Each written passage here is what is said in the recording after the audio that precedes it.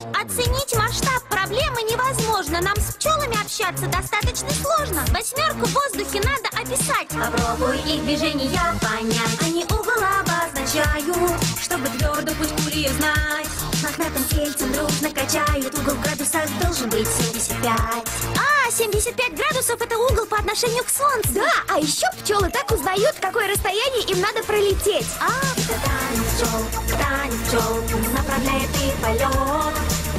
танец пчел, танец пчел Пчел к хули приведет давай-ка! Мы трясем, трясем, трясем, трясем, трясем, трясем. В воздухе восьмерку рисуй Мы трясем, трясем, трясем, трясем, трясем, трясем.